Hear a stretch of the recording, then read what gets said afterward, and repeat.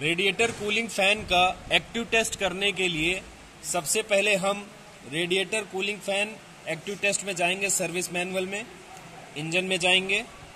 Engine में जाने के बाद कूलिंग सिस्टम में जाएँगे।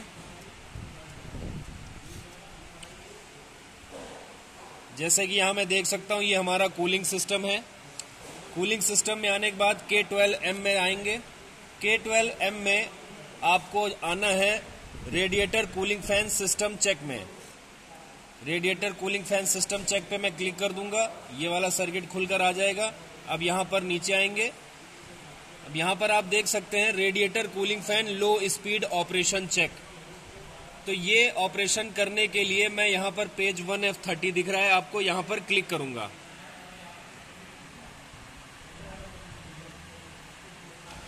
यहाँ पर देख सकते हैं आप radiator cooling fan assembly on vehicle inspection आ गया यानी एसडीटी को आपको गाड़ी से कनेक्ट करना है और एक्टिव टेस्ट करना है। मैंने एसडीटी को गाड़ी से कनेक्ट कर दिया है।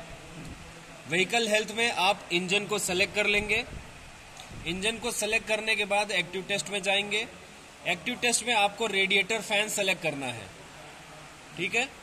इंजन में जाना है, इंजन सेलेक्ट कर लेना है, इंजन सेलेक्ट करने के बाद एक्टिव टेस्ट में आएँगे। एक्टिव टेस्ट में आपको रेडिएटर फ़ैन सेलेक्ट करना है। रेडिएटर फ़ैन सेलेक्ट करने के बाद स्टार्ट दबाएँगे। जब आप स्टार्ट पे क्लिक करेंगे तो यहाँ पर ओके पे क्लिक करना है। ओके पर क्लिक करने के बाद यहाँ पर ये एग्जीक्यूट वाला बटन आ जाएगा। एग्जीक्यूट पे क्लिक करना है।